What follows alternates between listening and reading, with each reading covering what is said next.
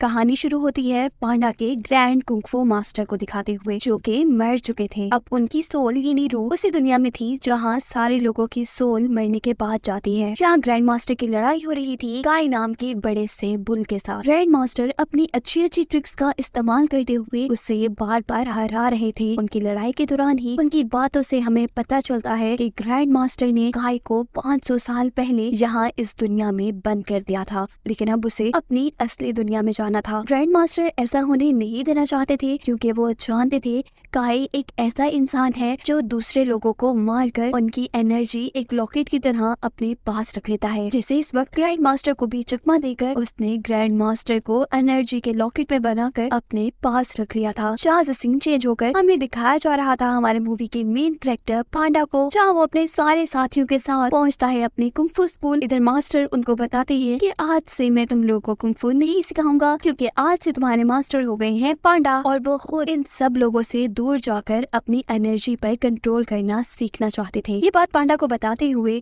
वो एक मरा हुआ पोल ज़िंदा भी कहकर उसे दिखाते हैं। पांडा ये देखकर बहुत ज़्यादा खुश हो जाता है और अपने मास्टर से कहता है, आपने ये कैसे कर लिया? वाह ये बहुत ज़बरदस्त था और मुझे भी सीखना है। तब उसके मास्टर जवाब देते हैं, ये इतना आसान नहीं है। इसे सीखने के लिए सालों लग जाते हैं। खैर, जो भी था, पांडा के मास्टर तो अब अपनी एनर्जी पर कंट्रोल सीखना चाहते थे। तो कुंफू सिखाने की ज़िम्मेदारी आ गई थी पांडा के ऊपर। पांडा को खुद तो अच्छा कुंफू आता था, लेकिन वो दूसरों को सिखा नहीं सकता था। जैसे ही वो अपने साथियों को कुंफू की ट्रेनिंग देने लगता है तो सब कुछ गड़बड़ हो जाता है और उसके सारे साथी अजीबो गरीब वेपन में फंस कर गिर जाते हैं। दिखाया जाता है अब काय को, जो की इस दुनिया में आ चुका था। उसने अपने पास जितने भी लोगों की एनर्जी को कैद किया हुआ था, वो उन सबको पांडा को ढूँढने के लिए भेज देता है। क्योंकि पांडा के ग्रैंड मास्टर ने काय को बताया था कि मैं तुम्हें कभी नहीं मारूँगा, तुम्हें मारेगा। इस दुनिया में रहने वाला एक पांडा। अब काय का ख्याल था कि इससे पहले पांडा मुझे मारे, मैं ही पांडा को मार देता हूँ। जबकि यहाँ हीरो पांडा के शहर में आता है एक और पांडा। वो यहाँ अपने खोए हुए बेटे को ढूँढने के लिए आया था, जो और कोई नहीं,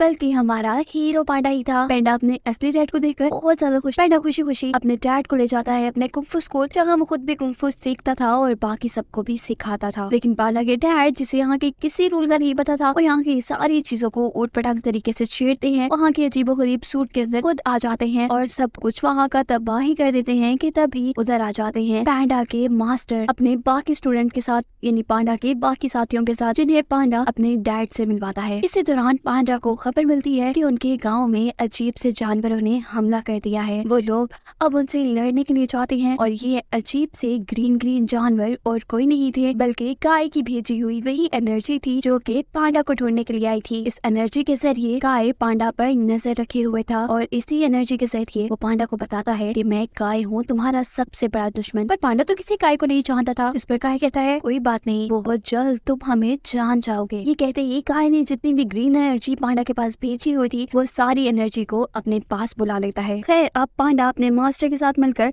काय के बारे में कुछ इन्फॉर्मेशन ढूँढने के लिए कुंफू लाइब्रेरी में जाते हैं, जहाँ जाकर उन्हें पता चलता है कि काय और उनके ग्रैंड मास्टर 500 साल पहले बहुत अच्छे दोस्त थे। उन्होंने बहुत बुराइयों का सामना एक साथ किया, लेकिन कहीं ना कहीं काय लालची था। उसे ताकत की लालच थी। एक बार जब जंग लड़ते लड़ते पांडा के ग्रैंड मास्टर जख्मी हो गए, इतने ज़्यादा कि वो मरने वाले थे, तब उनका ये दोस्त काय उनकी मदद करता है, पांडा से एनर्जी लेकर उन्हें ज़िंदा करता है। यहाँ ग्रैंड मास्टर तो पांडास की एनर्जी के ज़रिए ज़िंदा हो गए थे, बिल्कुल ठीक हो गए थे, लेकिन काय जिसने पहली बार किसी की एनर्जी ली थी, वो ये सोचता है की अगर ये एनर्जी किसी दूसरे इंसान को जान दे सकती है तो ये एनर्जी मुझे भी ताकत दे सकती है। तब से उसने लोगों को मारकर उनकी एनर्जी को एक लॉकेट में चेंज करके अपने पास रखना शुरू कर दिया। ग्रैंड मास्टर इस चीज़ के बिल्कुल खिलाफ थे। उन्होंने अपने दोस्त को ये काम करने से मना किया, लेकिन वो जब बास नहीं आया तो उन दोनों में लड़ाई शुरू हो गई। और आखिर ग्रैंड मास्टर ने 500 साल पहले ही इस बुरे काय को उस दुनिया में बंद कर दिया, जहाँ पे लोगों की सोल्स रहा करती हैं। ये सारी उनकी बताई हुई कहानी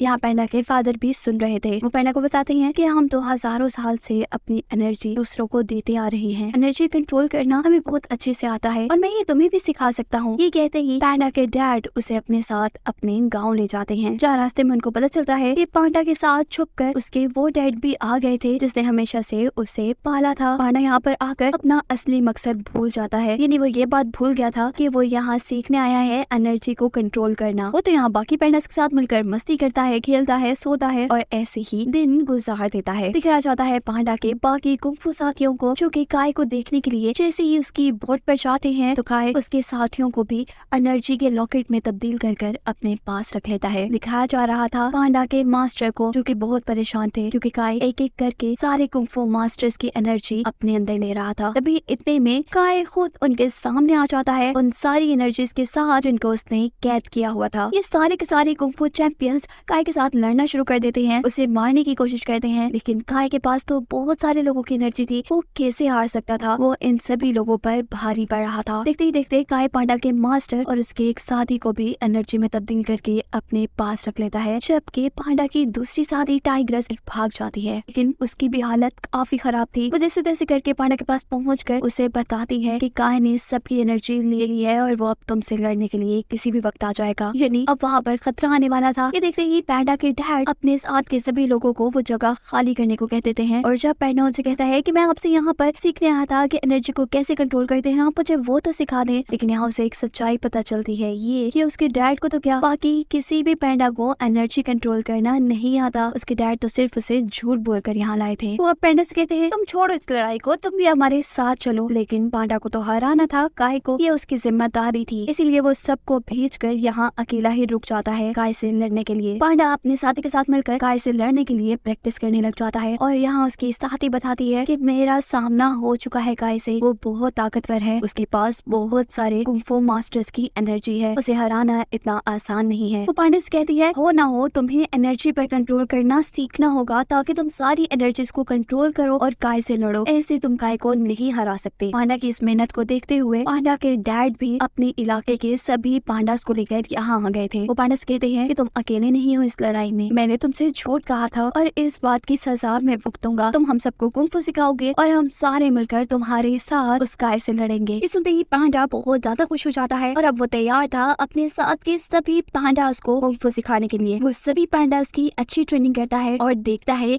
कि किस पांडा के अंदर क्या करने की एबिलिटी है। ये देखते हुए उसने सभी पांडा को कुंफू चैंपियन बना दिया था। अब तकरीबन उन लोगों की ट्रेनिंग कंप्लीट हो ही गई थी। तभी बहुत सारी एनर्जी जो की काय ने भेजी थी पांडा पर हमला करने के लिए आ जाती है। लेकिन अब पांडा को क्या डर था, उसके पास तो अपनी एक पांडा की फौज थी। वो सारे पांडा को इकट्ठा कर लेता है, खुद उन्हें खड़े होकर इंस्ट्रक्शन देता रहता है। ऐसे बाकी पांडा काय की भेजी हुई एनर्जी से लड़ते रहते हैं। एक टाइम ऐसा भी आता है, जब पांडा के सामने उसके अपने मास्टर की एनर्जी आ जाती है। वो उन्हें कैसे मार सकता था? तब पांडा के दोनों डैड जिन्होंने अब कुंफू सीख लिया था, वो आकर मास्टर से लड़ते हैं। अब जब लड़ते लड़ते पांडा काय को मारने वाला था, तभी वो जान पाता है कि वो काय को नहीं मार सकता, क्योंकि वो तो सोल वाली दुनिया से आया है, जहाँ लोग मरने के बाद जाते हैं। क्योंकि वो ऑलरेडी मरा हुआ है, यहाँ पर वो नहीं मर पाएगा दोबारा। उसे हराने के लिए पांडा को भी उसी जैसा बनना था। यानी पांडा को भी अब उसी दुनिया में जाना था, जहाँ लोग मरने के बाद जाते हैं। वो अब गाय के ऊपर बैठ कर अपने आप को ही मार देता है और उसके साथ उसी की दुनिया में पहुँच जाता है। देखते ही काय को बहुत ज़्यादा गुस्सा आ गया था। वो पांडा पर चिल्लाता है, तुम मुझे दोबारा यहाँ ले आए। मैं पाँच सौ साल बाद तुम्हारे मास्टर की एनर्जी लेने के बाद उस दुनिया में गया था और अब मुझे दोबारा उस दुनिया में जाने के लिए तुम्हारी एनर्जी की ज़रूरत पड़ेगी। लेकिन मैं उस दुनिया में जाकर ही रहूँगा। बातें करते करते गाय पांडा को अपनी जंजीरों में पकड़ लेता है और उसकी एनर्जी को कैद करने की कोशिश में लग जाता है।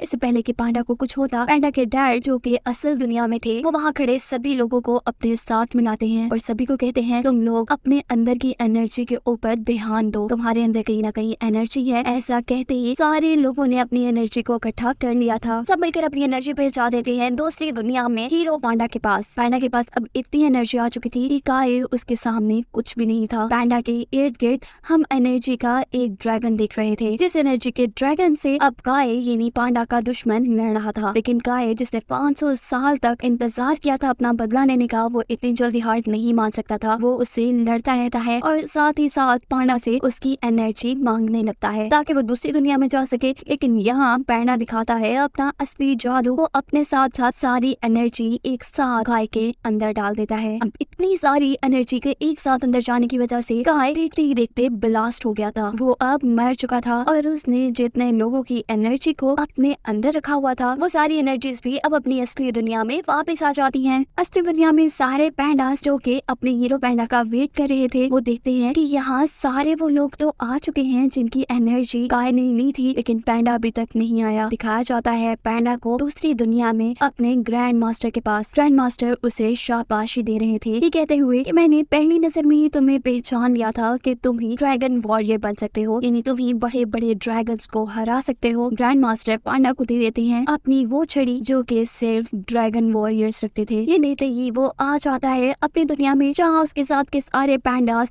और उसके कुंफू साथी उसका इंतज़ार कर रहे थे। उसने अब अपनी एनर्जी पर कंट्रोल करना सीख लिया था, जहाँ अगर उसे शाबाशी मिलती है अपने कुंफू मास्टर से, जो उसे बताते हैं कि तुम बहुत महान हो पैंडा तुम्हारे ग्रैंड मास्टर ने एनर्जी को कंट्रोल करना पूरे तीस सालों में सीखा था। इवन मुझे तो ये एनर्जी कंट्रोल करना आती भी नहीं, पर तुमने ये कर दिखाया है। तुम बहुत अच्छे हो। क्या तुम मुझे एनर्जी को कंट्रोल करना सिखाओगी? और दिखाया जाता है कि आप यहाँ सभी लोगों का मास्टर है। पैंडा, जो कि सभी लोगों को सिखाता है कुंफू अपने गाँव में। यहीं पर बाकी पैंडास भी आकर दूसरे लोगों के साथ रहने लगे हैं। सभी लोग मिलजुल कर रहते हैं और काफ़ी खुश है। जिसे दिखाते हुए ये कहानी यहाँ खत्म हो जाती है।